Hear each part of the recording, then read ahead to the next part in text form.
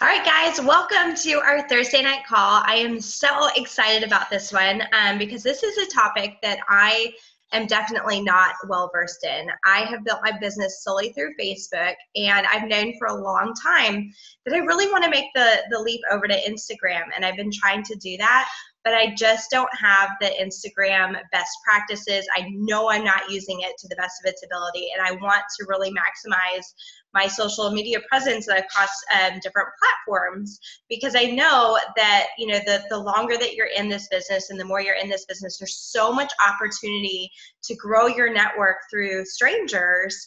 Um, that you might not necessarily know. And I think Instagram is a really great platform for that, whereas Facebook seems to be more about your own personal network, your own personal um, friendships and those types of things and it's harder to grow organically and to grow that network. So i um, asked tricia to be on the call tonight because you guys she is a phenomenal phenomenal attraction marketer on instagram. She has she is a um, stay-at-home mom. She homeschools and she was homeschooled herself and she started when she started plexus she didn't have a very big network at all but you guys, she grew her entire business on Instagram and she has signed 175 to 200 level ones. But get this, guys 90% of those people have been strangers that she did not know. Um, did not know in her life, had met them post Plexus through the internet, and i think that that is just a it's a true testament to show you that what is possible with a small network this is a huge deal and a huge tool that we really need to be taking advantage of. And so I wanted her to get on here and share her t- tips and tricks. She is an Emerald ambassador, so she is flying through the ranks of Plexus and has had so much success. So, Tricia, if you're there, can you unmute yourself and take it away? Hey guys. So first of all, I wanted to say that when I started this business, I I searched Sarah Taylor Plexus on YouTube and I watched like every video she had, like especially the Silver and Seven, and our team has done your Silver and Seven videos. So anyway, this is like a huge honor. Um, okay, I wanted to start off by sharing a little bit of my story and how I even came to have an Instagram presence. And guys, it pretty much was born out of us being broke. That's kind of where my Instagram came came from. Um, I had a blog. It was this tiny little blog, and we didn't have any money. So we started a furniture business. And we started this furniture business in our garage the same month I became a preferred customer. Um, so I had like 200 followers. And my my first post, I had no interest in the business. I was just a preferred customer. I posted a picture of my pink drink and I said like, wish me luck. And I got like 12 likes. Okay. Um, and I did not mention Plexus again. That was October 2015 until May 2016. So that was my first post. I never talked about it again. Um, but anyway, guys, we were broke. We were making, I had four kids at the time. The oldest was probably five. Um, we were making an average of about $750 a month. Um, my husband had a property management business, which was not working.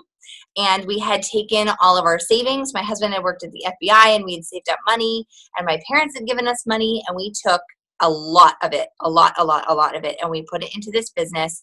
And pretty quickly we discovered it was not going to work. Obviously, there were some months that we were living off nothing. Um, and then there were other months that I would cry and I would look at our bank account and I'd be like, oh my goodness, you know, is there any money at all in this business that you can pay us? So that's where we were. So one month I was like, okay, let's go to Goodwill and we're going to find furniture and we're going to take it back to our garage and we're going to sand it and we're going to paint it. And I was getting up at 4 a.m. and I was posting about it on my Instagram, guys.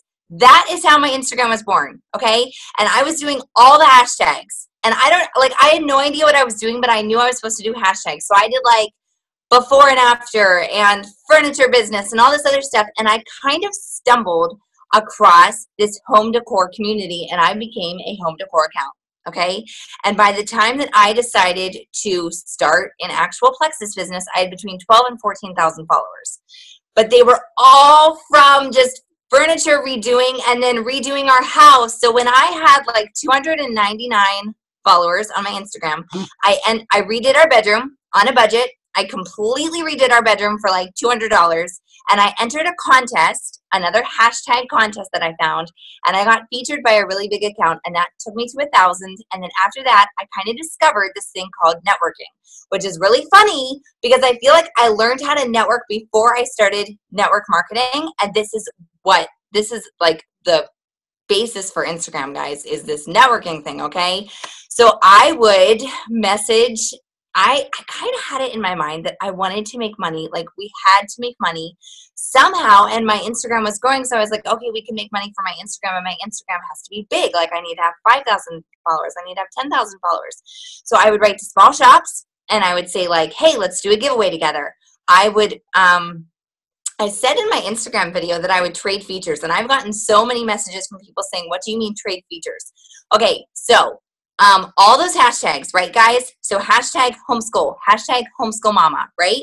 I found people through those hashtags, even things like hashtag living room, hashtag living room decor. Um, and we became friends. So, like, I would message them and then I'd be like, hey, I have an idea. If you share my account on Tuesday, then what about if, like, then that, that's what I mean by training features. Like, I would actually take their picture and I would put it on my feed and I would say all the things I loved about that person. And then she would do that for me. And guys, it worked and I grew. Does that make sense? Does that like trading features thing make sense? Um, so now stories, which are like those little videos, are like way more watched than your feed. So now people do that same thing. I watch it every single day, guys. People do this trading features thing, okay? So they find people that are like them and they will feature them and then a few days later you'll see them getting featured and that's how people grow and i also did giveaways um, i did so many giveaways. Like some of them i would pay for some of them i would not pay for. Here's an example of something i just did okay? Because i'm still in the process of growing. I have like 29000 followers now but i'm always always always trying to grow. So i found like five total strangers to me that all had similar hashtags, similar interests, and I said, let's all pitch $5 and let's give away a Target gift card. And we all posted it on our account, and they had to follow every single one of us, which means I got, you know, 100, 200 new followers. And then this is what I do I message every single one of those new followers, and I do not mention Plexus.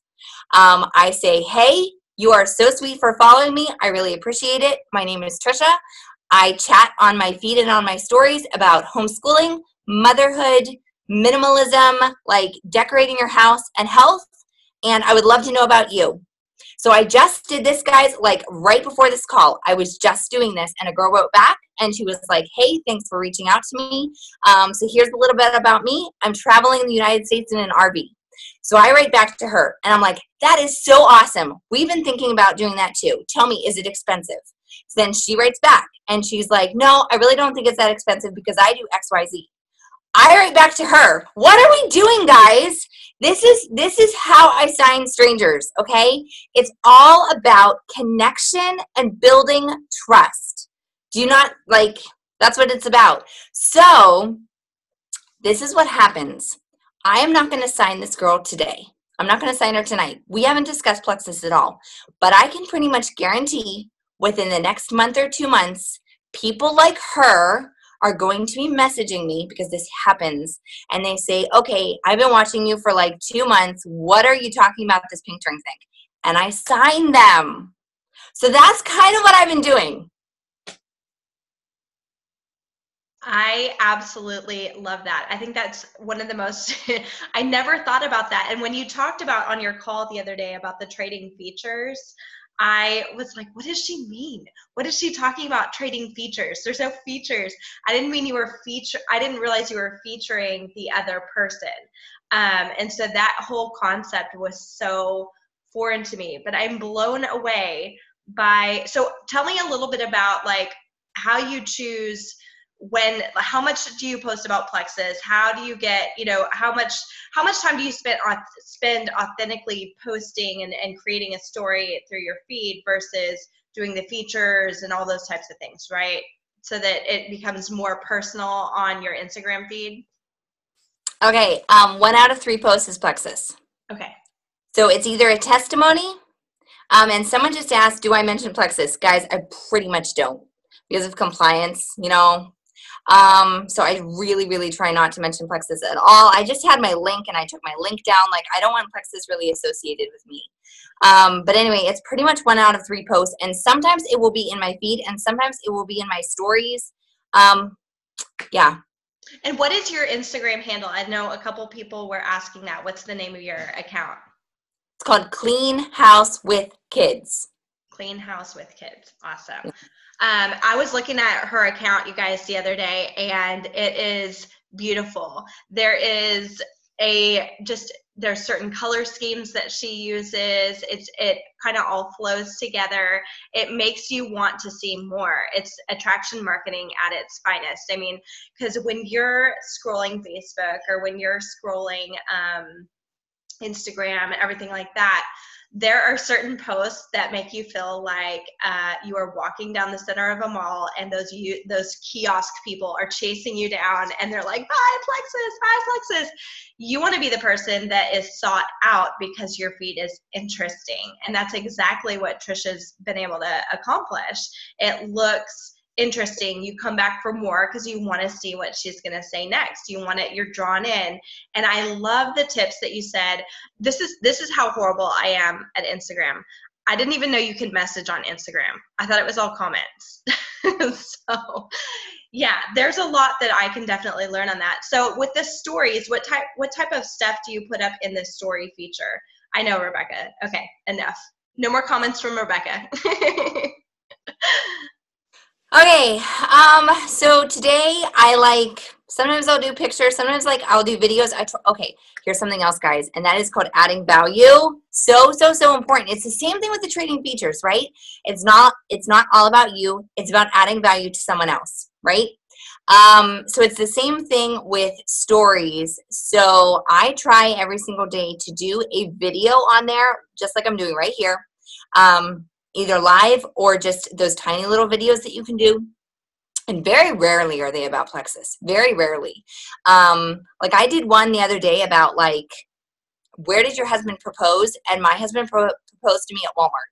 And i got a whole bunch of comments. And so like i was like hey i'm going to be going live at 2 p.m and i'm going to share our proposal story. But here's the thing. I got a message as soon as I finished that video, and I did not mention Plexus, I did not mention supplements, and the person messaged me about Plexus. And I think it's the whole like drawing the person in. If they feel like they know you and then you're their friend, then they're going to be more likely to want to know about what you're selling.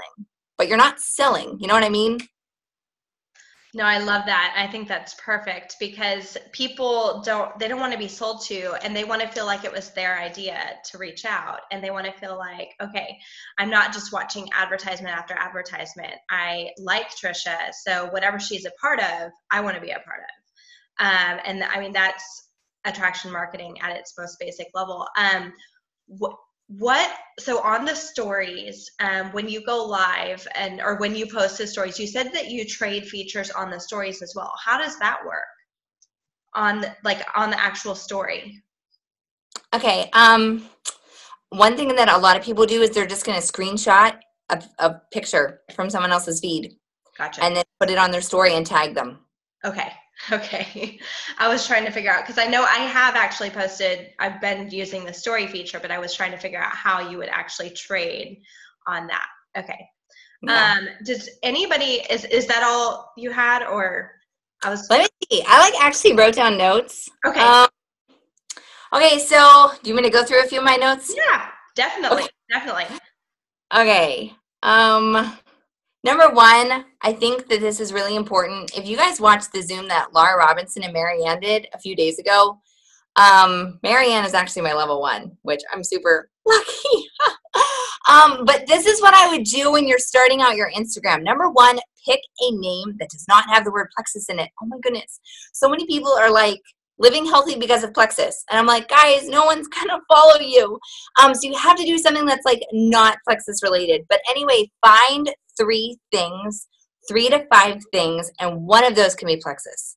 And then post about one of those things. Um, so I typically post on my Instagram three times every single day.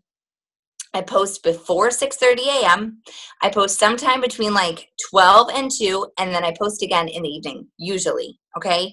And there's a huge there's a huge thing about being consistent that people know like you almost become part of someone wakes up in the morning, they pick up their coffee, they pick up their newspaper, that's what you are. Okay. So they wake up every single morning and they know that Tricia posted and they have a pretty good guess what Tricia posted about because it's always in one of those five things. Okay. Um, so sometimes in the morning I will do a plexus testimony, but sometimes I'll like switch it up. So they're not quite sure what to expect, and I'll do it in the evening. Um, and then in the in the morning I'll do something about motherhood or about minimalism or something else in those five things.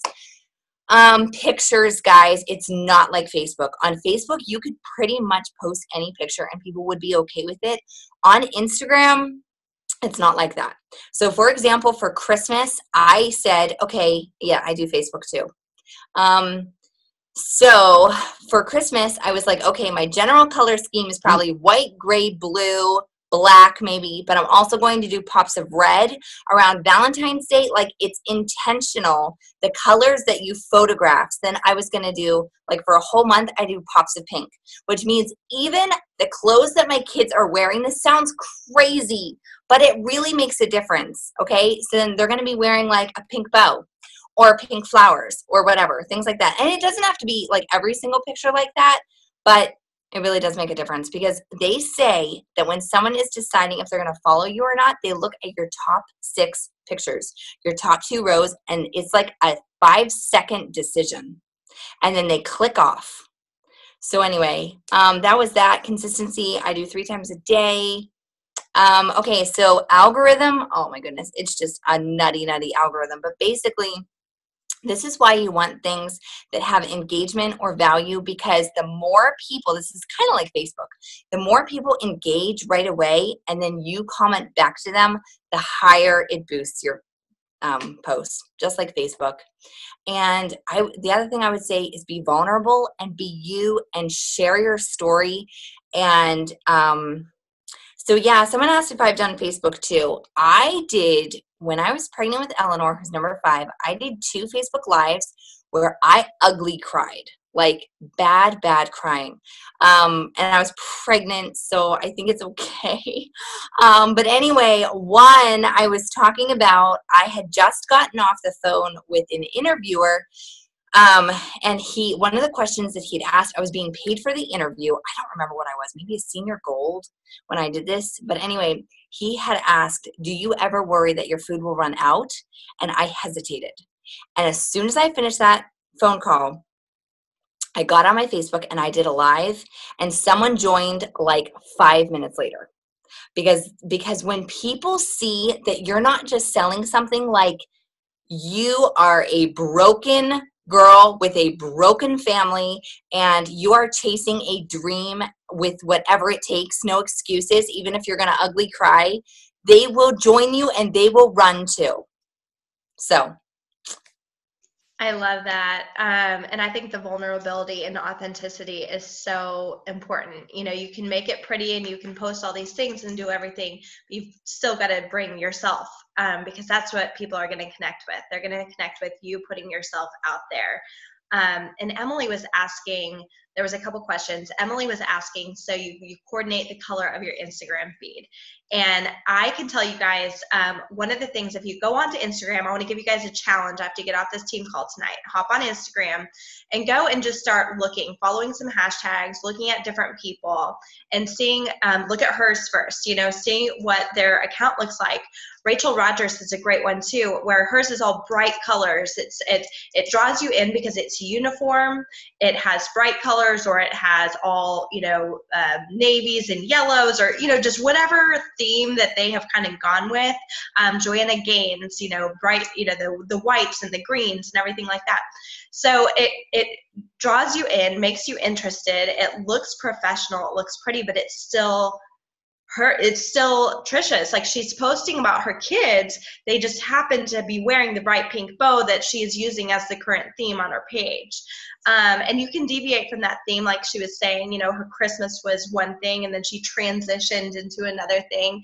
And it's not. This isn't necessary. It just adds interest and makes people want to be around you, follow you, see how you're doing. It's artistically pleasing and it makes them interested in it. Um, Jennifer Rand, I think it was, I'm scrolling back up, um, asked about so when you post to Instagram, do you do that little feature where it says post to Facebook too and they post at the same time or do you post them separate? I post them separately. Okay if you do do that, I'm pretty sure that um, it will not get seen on Facebook. Like a very, very small percentage that it will actually get seen at all. Um, and I do try to like mix things up a little bit, and Facebook just has a different feel. So sometimes I will post the same wording, and sometimes I won't. And sometimes I'll post the same picture with different wording. Absolutely. So are you so when you go out are you how many are you actually going out and following people as well? So you're actually seeking others out as well to do the whole you know follow back kind of thing. So are you when you go and start following someone are you messaging them as well about their feed? Okay Mm-hmm. So that's the other thing I'll do is I will like okay the other day I typed in hashtag Target Dollar section because I love the Target Dollar section. And I was like I'm gonna find find I'm going to find five new people that I would genuinely be friends with. I'm going to follow them first. One of them has a blog. So I read her blog post and then I message them. So I will follow them and then maybe leave a comment and then I'll message them. And it's a genuine message. It's and then almost always they'll follow you back. Yeah I think that's just so genius. And I love the fact that it's not just all plexus. You are bringing in, um, Amy Welch and I were talking about this the other day, you know, picking five pillars, five things that you are personally interested in. So whether that's like rescue dogs or your kids or um, religion or um, home decorating, farmhouse decor, whatever that is, you know, picking those things that are your interest and kind of sticking with those five things as your theme, as your overall like things to post about, and making Plexus the like far secondary. And it can be things like health and recipes. I mean, that goes with Plexus too. And you're attracting a good crowd that way. It can be workout stuff, whatever it is that you're actually interested in, you're actually passionate about post and instead of being that kiosk girl like hey plexus plexus plexus plexus you know it's changing it up so that people are actually making that connection with you um, i love it did anybody um, rebecca wanted to know what you say when you message somebody that you have just started following um, normally I'll say, hey, it looks like we, okay, I always use their name. Always use their name. If, if they have a name, you need to use their name. Um, hey, Sarah, it looks like we've got some mutual, okay. Hey, Sarah, I just followed you. It looks like we've got some mutual interests. It's so funny. You used almost the exact same Valentine's Day stuff from the Target Dollar section that I did in my house. Um, and then I'll ask a question. So if it's like a homeschool mom, how do I decide what to use for hashtags? Okay, so if it's a homeschool mom, I might say like end with a question, end with a question like, "Hey, so what curriculum are you using now?" Because it means that they have to reply. Get the back and forth going. Um, yeah, the hashtags. Isn't there like a hashtag app or a generator or something like that that shows you what are the trending hashtags? I think Celeste was talking about that at one point. Do you know the name of that app? I don't. Hash me. Okay. They all okay. they all know it. I just don't.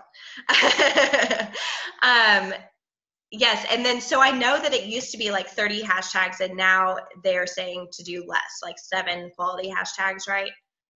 On mm-hmm. Instagram. Everybody else is. Uh, thank you, Emily, for agreeing. Instagram is seriously like I am here to tell you guys I do not know everything. This is such a foreign um, concept to me, but it's something I see the value in it so much. Like there is so you could seriously open up your business with just focusing on Instagram and focusing on your social media presence and branding yourself. I think that's a really, really big deal. Social media is a huge, enormous tool if we focus on it and we put out exactly what you know we put out a, a specific brand. We put out a specific message that we want to be shared. And it's not just generally like a um, you know hop on facebook and, and say what's on your mind kind of thing. It's more of an intentional branding intentional um, social media usage to bring people in and to be interested in your life. And i think tricia's just such a perfect example of what can be possible. I mean she started this and she didn't have a huge following. It's not like she started with, you know, 27,000 um, Instagram followers. You guys, she started with 200. That's a very normal size account. That's a very, you know, and she just worked at growing it intentionally. And so I think that that's something that all of us can really kind of step out and step into. And it'll open up a whole new world um, for you guys and expand your network exponentially. I mean, I can go up to church and join church groups and do all that kind of thing, which is important. And, you know, making connections in real life is clearly important. But the power of, of social media and social networking is exponentially larger. You know, you can reach so many more people in a day than you could walking the grocery store aisles, you know? Um, okay, so I it is 8.30 it's about to be 8.30 so i don't want to keep you any longer but i really really appreciate it. I love all of this and it was so helpful. I'm probably going to have to go back and watch it again. Um, but we really really appreciate it you guys and just some announcements for the team.